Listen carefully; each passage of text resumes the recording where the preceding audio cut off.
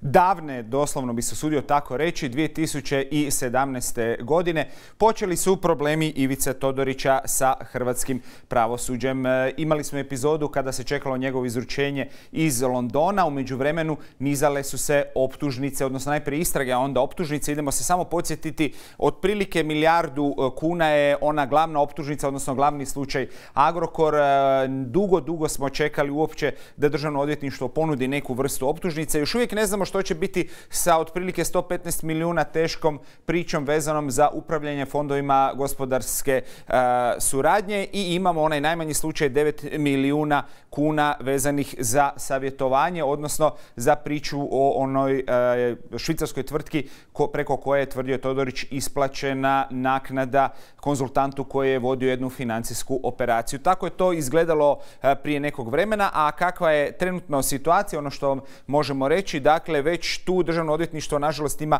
nepravomoćnu e, presudu protiv sebe, već tu se pokazalo da sudove nisu uspjeli uvjeriti u ovom najmanjem predmetu e, je prva presuda bila dakle u korist Ivice Todorića i ostalih. Što se tiče fondova gospodarske suradnje, u ovom trenutku još uvijek nema najnovijih informacija, nije još uvijek podignuta optužnica, međutim u međuvremenu našli su se u popriličnom problemu tužitelji zato što je Upravni sud poništio odluku HANFE koja je prva bila sankcionirala fondove gospodarske suradnje, pa je sada pitanje kako će se nakon toga razvijati taj slučaj. I sada se vraćamo na onu glavnu optužnicu koju smo čekali dugo, dugo, dugo.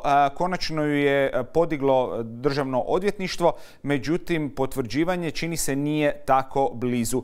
Sudsko vijeće zasjedalo je prošli petak, međutim protiv načina na koje je ona predstavljena ustali su branitelji svih 15 optuženih. Moj gost je Fran Olujić koji u ovom slučaju zastupa Antu Todorića mlađeg. Dobar vam dan, dobro nam došli. Dobar dan, hvala na pozivu. Bez obzira na to kako pristupaju problemu odvjetnički timovi, postalo je očito da svi ciljate ono što mi se čini da je temelj optužnice, a to je ono veliko forenzičko vještačenje poslovanja Agrokora. Da, dakle, iskristalizirali su se, iskristalizirali su, se dva e, mišljenja obrana. Jedno je mišljenje da je riječ o nezakonitom dokazu, e, taj stav zastupa i naša obrana, a drugo je mišljenje da je riječ o nevjerodostojnom dokazu. I u jednom i u drugom slučaju, ukoliko bi obrane bilo u pravu, e, proizlazilo bi kako bi se radilo o dokazu koji se ne može koristiti prema zakonu o kaznenom postupku, te bi taj dokaz kao takav e, bio u ovoj fazi neuporabljiv, što bi pak e, za posljedicu imalo da se e, cijeli postupak vraća u fazu istrage, odnosno da se optužnica vraća državnom odvjetništvu na doradu. Samo da podsjetimo gledatelje, vještačenje koje smo čekali doslovno godinama, građani Republike Hrvatske platili su gotovo 10 milijuna kuna poljskoj podružnici KPMG-a. Zašto vi smatrate da je to vještačenje nezakonito, a vaši ostali kolege neki da je nevjerodostojno? Dakle, e, mi smo to isticali e, već u odgovoru na optužnicu, a i ranije kada je bilo izvješćivano o ovom, ja ga čak neću nazvati vještačenjem, vještačenju, nego o izvješću trgovačkog društva iz Poljske. Vi ste u pravu, riječ je o društvu KPMG Poljska. Zašto smo smatrali i dalje smatramo da je nezakonito? Prije svega zato što ga nije radila ustanova, kako je to predviđeno e, temeljem odredbi zakona o kaznenom postupku, već ga je radilo trgovačko društvo koje samo po sebi, kojemu je osnovna funkcija, njegova komercijalna funkcija, dakle, e, da zarađuje. Zatim, e, zato što su ga radile osobe koje su nama u ovom trenutku potpuno nepoznate. Naime, proizašlo je iz samog tog izvješća kako je 87% tog izvješća E, nije uopće radilo društvo KPMG Poljska, nego KPMG Hrvatska. A glavni razlog zašto se išlo davati e, nalog za vještačenje e, strancima je upravo da ne bi bio potencijalni sukob interesa s obzirom da je KPMG Hrvatska radila kako za Agrokor dok je u njemu bio gospodin Todorić, tako i kasnije kada je njegovo upravljanje preuzela izvanredna uprava.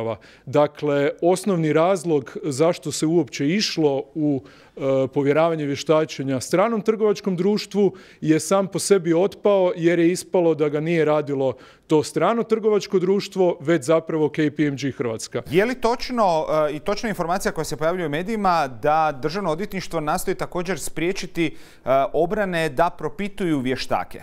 Da, naime, tu imamo paradoksalnu situaciju, dosad nezabilježenu u hrvatskom pravosuđu, a to je da imamo nešto što oni nazivaju vještačenjem, a da ne znamo koje su osobe e, na tom vještačenju radile i ne znamo uopće, e, s obzirom da te osobe nisu e, potpisane kao takve, a prema zakonu o kaznenom postupku, ukoliko je više osoba, više vještaka radilo na vještačenju, onda se izričito traži da se sve one potpišu. Dakle, državno odvjetništvo je sklopilo ugovor sa KPMG Poljska. E, mi taj ugovor u spisu nemamo, ali znamo da on postoji iz samog tog izvješća iz kojeg proizlazi da će e, poduzeti sve razumne radnje da se ne otkrije identitet osoba koje su vještačenje radile. Dakle, slobodno ću reći jedna suluda e, situacija u smislu prava. Je li to uopće po vama moguće provesti u okviru hrvatskog pravnog sustava? Odnosno, e, je li moguće da doista e, budemo svjedočili procesu u kojem se neće znati tko stoji iza e, nekog vještačenja i u kojem on neće biti spreman odgovarati, na primjer, na pitanje obrane? Gledajte, osnovno je pravo svake stranke u postupku, bilo parničnom, bilo kaznenom, a pogotovo u kaznenom postupku osnovno je pravo okrivljenika da zna tko je osoba koja je radila vještačenje ili više tih osoba i da onda te osobe može pozvati na sud i njihovo vještačenje, a ja ponavljam ovdje po nama uopće nije riječ o vještačenju, da onda to, to njihovo izvješće može na odgovarajući način podvrgnuti analizi, odnosno kritici. Mi ako ne znamo tko su te, tko su te osobe, onda ih ni ne možemo zvati na sud i kao takve ih valjano ispitati. Jeste li dobili kakvu porotnu informaciju iz DORH-a vezano baš za taj aspekt prijepora? E, Državno odvjetništvo tvrdi da je riječ o takozvanom ad hoc vještačenju, e, dakle e, nečemu što doduše postoji u, kao mogućnost u našem kaznenom zakonodavstvu, ali koje se koristi vrlo rijetko. Međutim, čak i kod ad hoc vještačenja, a imali smo situacije gdje je primjerice medicinska vještačenja gdje su obavljale strane ustanove poput recimo klinike u Ljubljani, uvijek se znalo tko su ti liječnici, tko su te osobe koje su to vještačenje radile. Mi ovdje, ponavljam, te osobe i dalje ne znamo. I mislite li da će DORH ustrajati na tome da ako prođe ovo vještačenje, da vještaci ne svjedoče? Ja ne znam na što se e, državno odvjetništvo, konkretno Županijsko državno odvjetništvo u Zagrebu, obvezalo tim već spomenutim ugovorom sa društvom KPMG Poljska. Iz ovoga što mi u ovom trenutku u spisu imamo, proizlazilo bi da su se obvezali na povjerljivost, odnosno da neće otkrivati identitet tih osoba. Ukoliko je to zaista tako, to je samo po sebi skandalozno, jer praktički znači da je državno odvjetništvo sklopilo ugovor kojim će u e, spis predmeta e, producirati nešto što je samo po sebi nezakonit dokaz. prošli petak svjedočili smo dakle ovome ročištu na neobičnoj lokaciji u zgradi Kockice u dvorani bivšeg centralnog komiteta Saveza komunista Hrvatske u dvorani punoj umjetničkih dijela.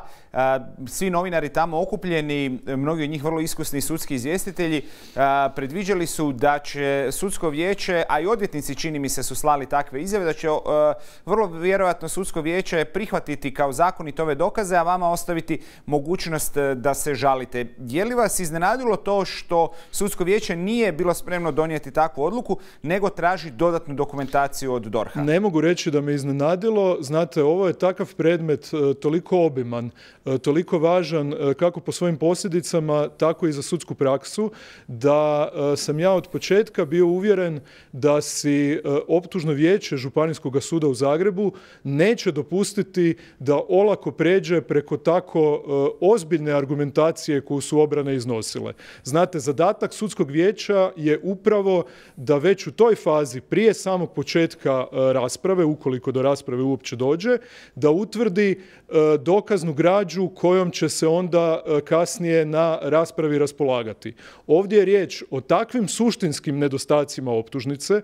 Dakle, ponavljam i u slučaju da je riječ o nezakonitom i u slučaju da je riječ o nevjerodostojnom dokazu. Ja osobno smatram da je riječ o jednom i o drugom, da si sudsko vijeće naprosto ne može dopustiti da se to utvrđuje tek na raspravi. Jer ukoliko bi se utvrđivalo na raspravi, onda postoji objektivna opasnost da bi mi imali godinu ili dvije dana raspravu, nakon čega bi se zaključilo da sa tim vještačenjem ne možemo ništa i da se treba provesti novo vještačenje.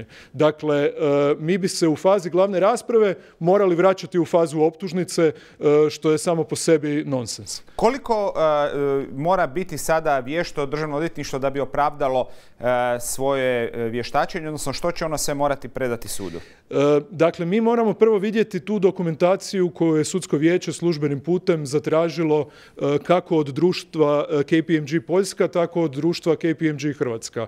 Moramo vidjeti da li će se iz te dokumentacije moći dati određeni odgovori na ove prigovore obrane, pa ukoliko bi iz toga se nešto konkretno moglo iščitati, onda ćemo ponovno na sjednici optužnog vijeća utvrđivati da li se radi o zakonitom ili nezakonitom dokazu, a tek onda nakon toga, a nezadovoljna stranka, bilo državno odvjetništvo, bilo obrane, ima mogućnosti žalbe na takvu, na odluku optužnog vijeća, tek nakon toga i nakon odluke sada Visokog kaznenog suda o toj eventualnoj žalbi moći će se uopće utvrđivati je li riječ eventualno o nevjerodostojnom dokazu. Drugim riječima, ovo je postupak koji će sasvim sigurno e, i tekako vremenski potrajati. E, još početkom e, tamo negdje proljeća kada se pojavila prvi puta informacija o eventualno kontroverzama koje postoje vezane za to vještačenje, obratili smo se državnom odvjetništvu, oni su nam doslovno odgovorili jednom rečenicom koja je glasila mi o te navode ne smatramo problematičnima, odnosno važnima. Brinili vas on onda e, takva uvjerenost DORH-a ako na tome temeljite u ovom trenutku svoj slučaj? Dakle, bez namjere da vam sad e, odajem što se sve događalo na sjednici optužnog vijeća, jer ona kao takva nije tajna, ali je nejavna, e, mogu reći, a to ste i vi novinari koji ste pratili mogli zaključiti, sjednica optužnog vijeća je trajala gotovo sedam sati. E, da je sve tako kao što državno odvjetništvo tvrdi, onda bi odluka optužnog vijeća o našem prijedlogu vjerojatno uslijedila nakon e, sat ili sat i pol vremena. Sama činjenica da smo mi ovoliko dugo raspravljali, pa i sama činjenica da je e, kolega predstavnik državnog odvjetništva na toj sjednici optužnog vijeća gotovo sat vremena obrazlagao njihove odgovore na naše opravdane primjedbe i prigovore, dokazuje da i oni sami znaju da su ovdje, da tako kažemo, u problemu. Koliko na čitavu priču će utjecati i druge stvari vezane za priču u Agrokoru koje se razvijaju na različitim instancama? Počeo od e, arbitraže koja je ušla već u tu fazu u Sjedinjenim američkim državama da je Republika Hrvatska morala e, definirati svog predstavnika, odnosno svog zastupnika, pa sve do recimo odluke Suda Europske unije e, koji je poništio odluku Porezne uprave Republike Hrvatske koja je tvrdila da je recimo u slučaju mjenice riječ o prikrivenom financiranju. To su sve postupci koji su na određeni način povezani, ali nisu e, isključivo i nužno povezani uz ovaj kazneni postupak.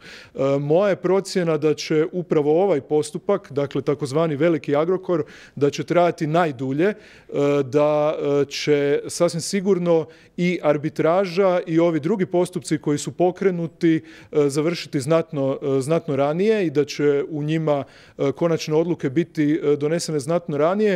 Hoće li nam one pomoći u našim tvrdnjama u tom kaznenom postupku ili ne, u ovom trenutku je rano za spekulirati. E, gospodine Olujić, još samo e, neki vremenski okvir u kojem eventualno možemo očekivati odbacivanje ili potvrđivanje optužnice na temelju onog što ste vidjeli u petak? Pa ja vjerujem da ćemo mi imati e, sljedeću sjednicu optužnog vijeća unutar e, nekakvog roka od ajmo reći tri mjeseca, a e, nakon toga ponovno sjednicu optužnog vijeća nakon eventualne žalbe bilo državnog odvjetnika, bilo obrane, nakon nekakvih tri, četiri mjeseca nakon toga. Dakle, Dakle, teško je u ovom trenutku predvidjeti, ali ukoliko uopće dođe do faze glavne rasprave, a mi tvrdimo da ne može doći do faze glavne rasprave, odnosno da se optužnica mora vratiti državnom odvjetniku ili pak da ju kao takvu treba odbaciti, teško da to može biti prije e, kraja ove godine. Gospodine Olujiću, hvala vam na ovom komentaru. Hvala i vama.